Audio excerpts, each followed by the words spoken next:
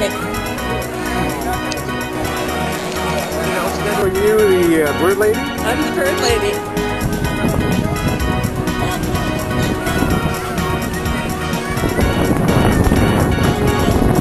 Yeah. So do you know he's got a football? Oh, he sat there by himself and he, he wanted to get it done, so I was excited. You're doing very good. You're very happy. You're lucky here that you got a really fantastic weather.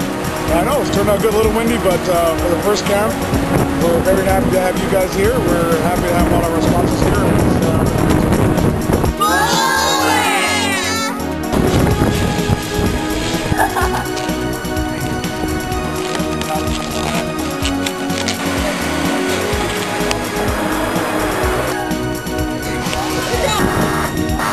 I've been a bird lady for many years in many communities.